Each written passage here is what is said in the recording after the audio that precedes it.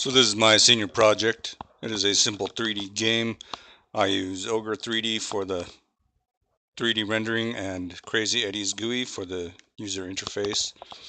The idea of the game is the player takes the role of a vampire in a medieval city on an island. Right here is the dock, and you can see the water, the ocean. I'm just showing some of the rendering effects, reflections of the moon from the skybox. The white is fog.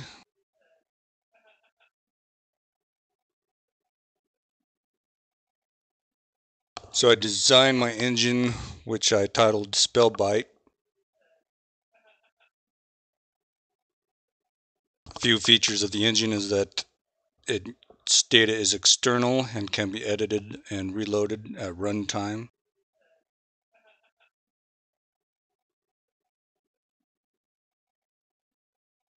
Here's a stable outside the town that will have some animals at some point.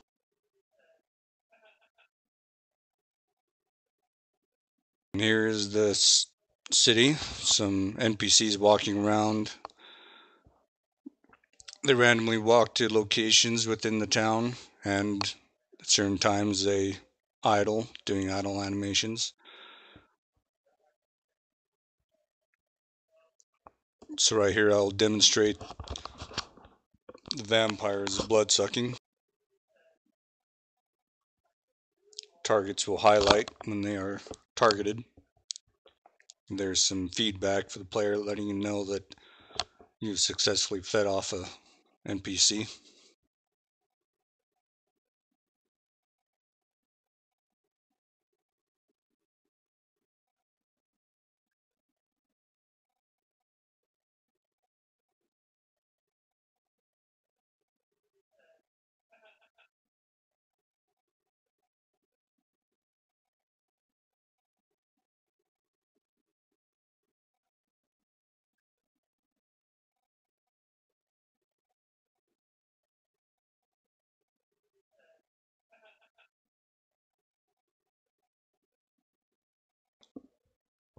So a large minority of the buildings can do have interiors and can be walked in.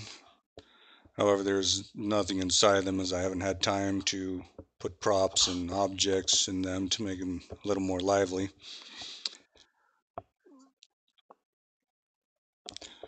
Another feature of the my SpellByte engine is it has Lua embedded, so Lua can be executed within it and several of the game objects are binded to Lua. So here's a an old abandoned church the player can go into and this is basically the vampire's lair or nest. There's a coffin in here that player can target and it initiates a sleep sequence. It simply fades the screen to black and back again.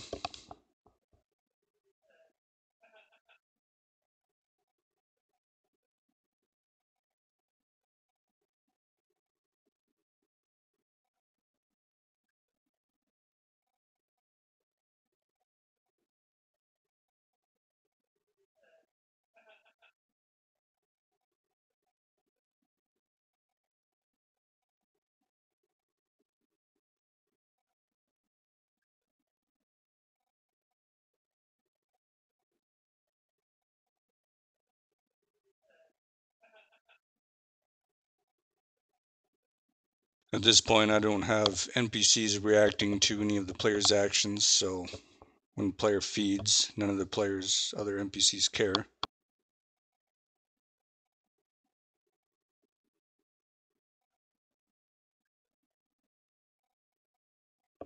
Here's the new church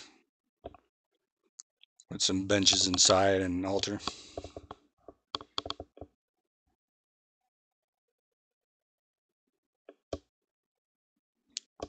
Another building that can be entered that would be an inn at some point.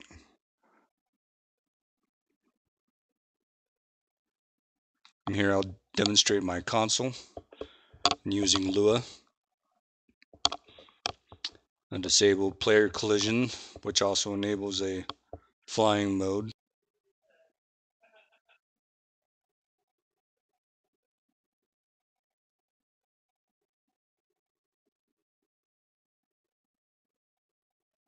Increase my speed.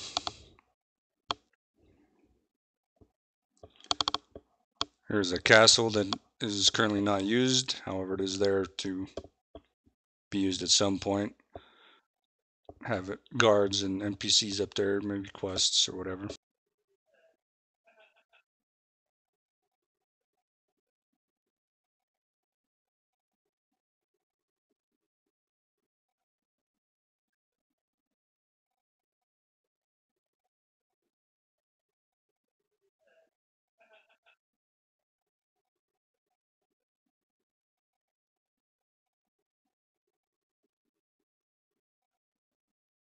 Here I just show some more of the island. The different terrain height of the island is determined by a height map, which is the black and white grayscale picture.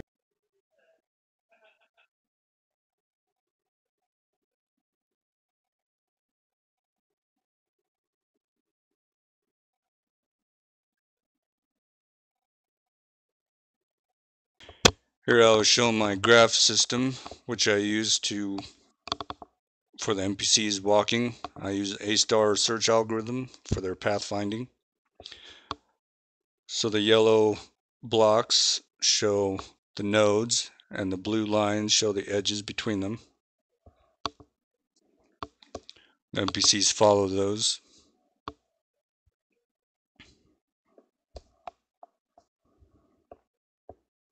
Again, and as I will demonstrate later on, the graph can be modified and edited at runtime. So here's my map file of XML, and I will show some editing of the world at runtime. Here's all the doc information.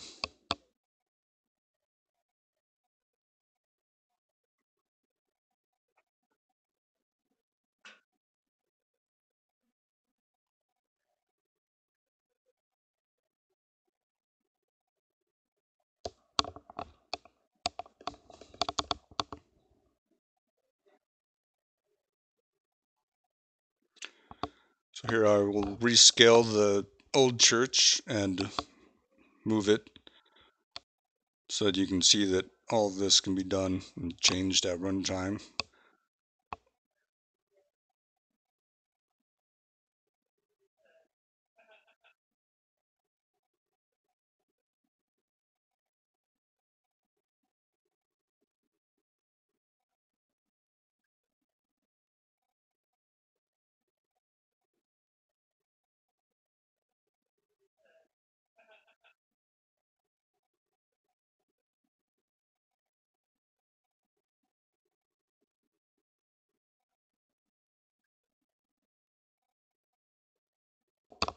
And all of this is done through Lua, as you can see by the keyword Lua in the console.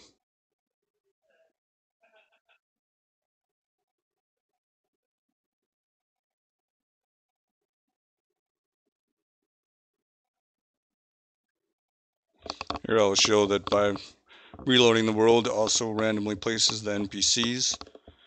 Any of them that were killed are reloaded and it restarts.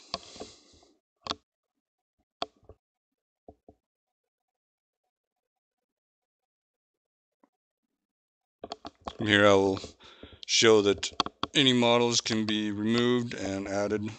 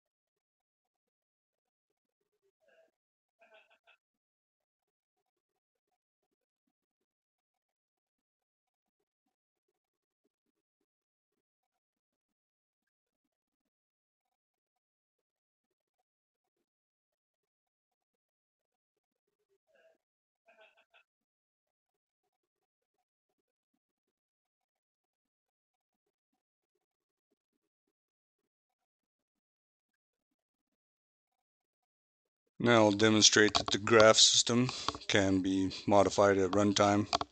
Here are all the nodes within the level,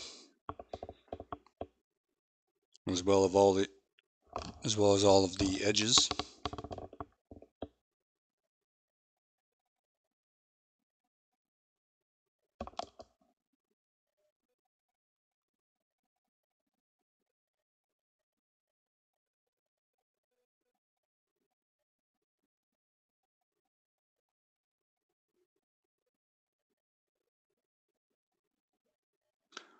We'll demonstrate this by simply removing some of the edges at the beginning.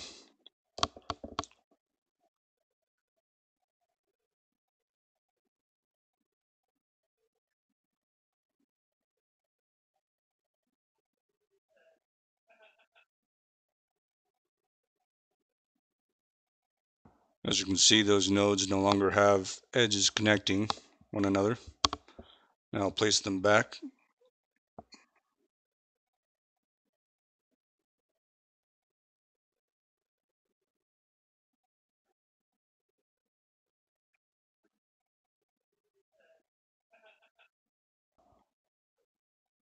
And that is my senior project. I hope you have enjoyed it. Thank you for watching.